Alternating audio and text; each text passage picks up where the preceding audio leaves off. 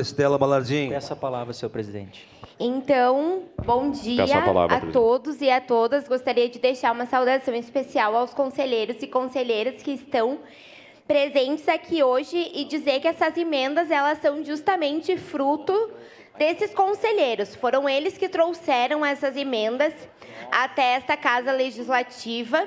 Não só até a Comissão de Direitos Humanos, mas diversos vereadores estavam presentes na reunião.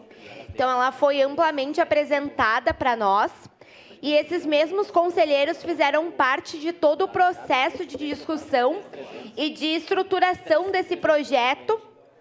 Então, eles fizeram, de fato, parte dessa construção. Então, eles entendem do assunto, afinal, são eles que estão lá trabalhando na ponta desse serviço. Então, eu acho muito legítimo essas emendas terem sido apresentadas e propostas por estes conselheiros.